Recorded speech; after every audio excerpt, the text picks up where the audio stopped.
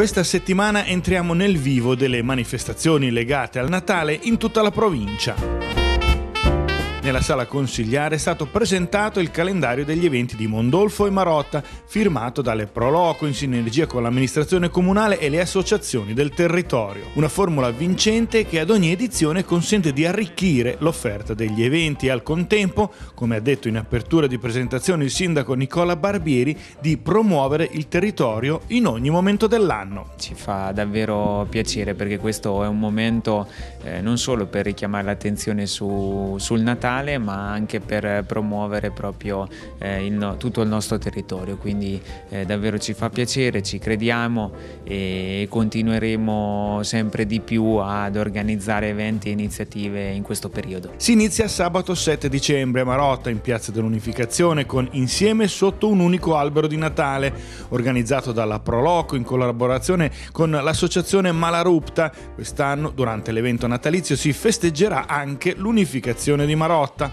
Saranno presenti anche le scuole che si esibiranno in piccoli concerti a cui faranno da eco spettacoli di magia e animazione d'eccezione. Il Natale è una festa per le famiglie, quindi noi abbiamo organizzato il 7 di dicembre insieme alla Proloco di Marotta e al Comitato Pro Marotta Unita una grande festa per le famiglie, quindi dalle 15.30 in Piazza dell'Unificazione ci saranno tanti eventi legati ai bambini con musica, con canti e poi l'accensione dell'albero di Natale che è il simbolo del, appunto del Natale.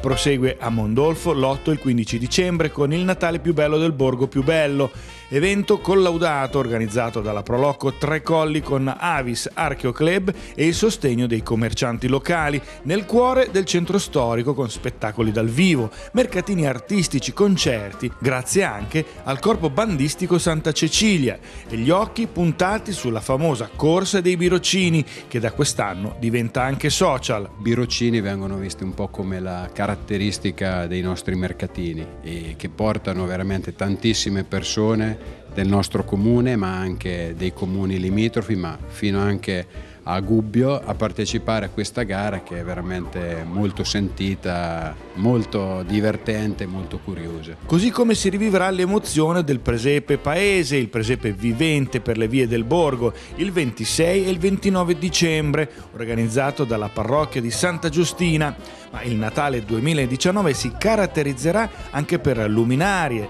l'accensione degli alberi di Natale e una collaborazione con la Proloco di Urbania. Le Befane italiane più famose d'Italia sfileranno a Mondolfo, mentre i biroccini il 6 gennaio faranno bella mostra ad Urbani. Impegno quindi di comune e delle Proloco e delle associazioni a far sì che ogni anno si migliori l'immagine del territorio ed offrire eventi di qualità dove la magia del Natale si sposa con la storia, la cultura e la tradizione locale.